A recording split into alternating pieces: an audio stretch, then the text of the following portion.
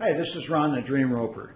Today I'd like to talk to you about leaving your baggage at the door. Here's a couple of key steps, and we've all been there, and hopefully we're not all there now. But stay tuned, maybe get some uh, hints from this.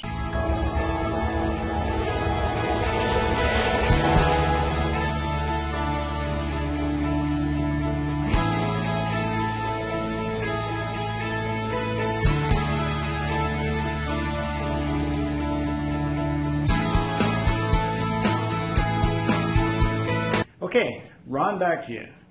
Leaving your baggage at the door, what does that mean? Okay, we all have baggage, right? We have baggage, I mean baggage, the stupid things you've done in the past, we've all done in the past, words that you've said that you shouldn't have, things that you've done that you shouldn't have, people you've hurt, loved ones, and it's all, we can, it's very easy to carry that and just dwell on it, right? So that's the bad news, right? The good news is that was yesterday. You don't have to live there. So how do you move out? How do you not live there? There's two key things that you need to remember to move forward. Forgive others. Why forgive others? Well, it's unforgiveness to start with is a heavy burden. And I think we've all heard unforgiveness called like a poison that you drink hoping that someone else will die. So that's not value added, right?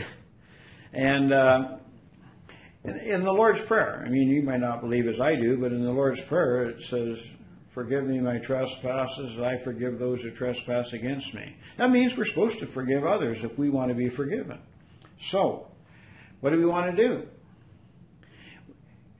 Forgive others. Just let it go. Give it to God. Just, you know, you re, we're told to repent and turn to God and give, put our burdens on Jesus. He'll carry them. That's a good thing. Uh, and that holds true for us. So the second part is to forgive ourselves.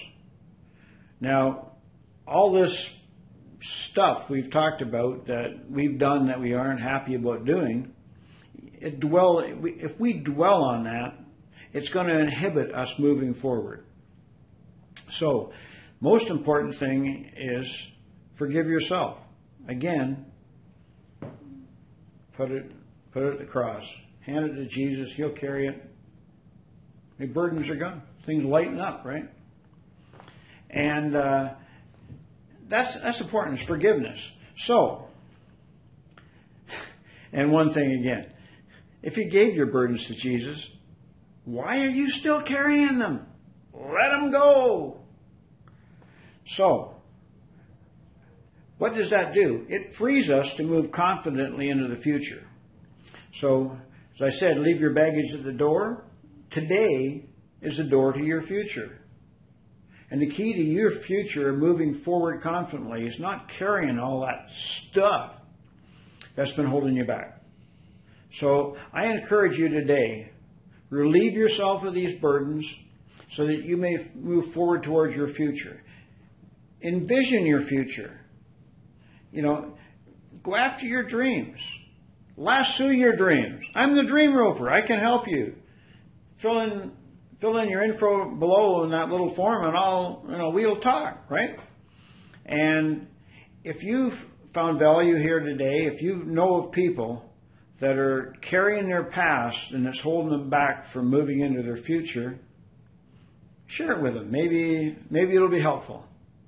So Ron the Dream Roper helping you lasso your dreams. Have a blessed day.